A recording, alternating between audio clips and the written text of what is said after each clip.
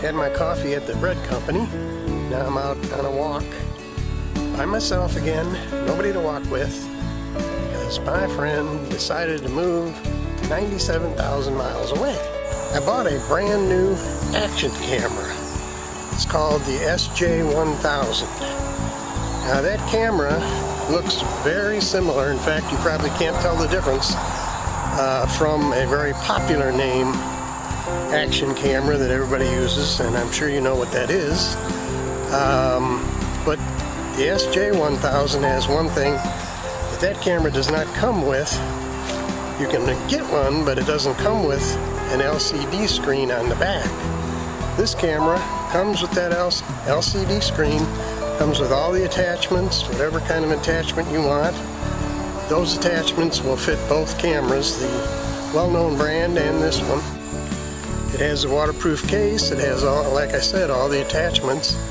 Uh, there's a, I'm not going to review it. There's a great review that I'll give you a link to. You can look at it. Here's the big difference.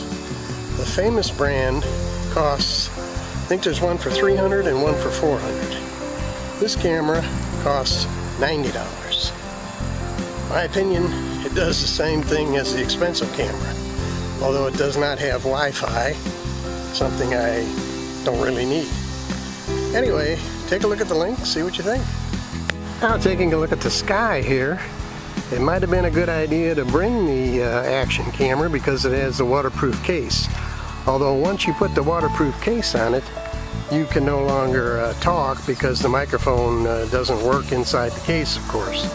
You have to narrate anything you do while the waterproof case is on it. But anyway, this sky, looking at it, uh, looks a little ominous, but uh, we'll see. Now here's a guy that let me use his stand-up jet ski. It's me on the left there. That was a lot of fun.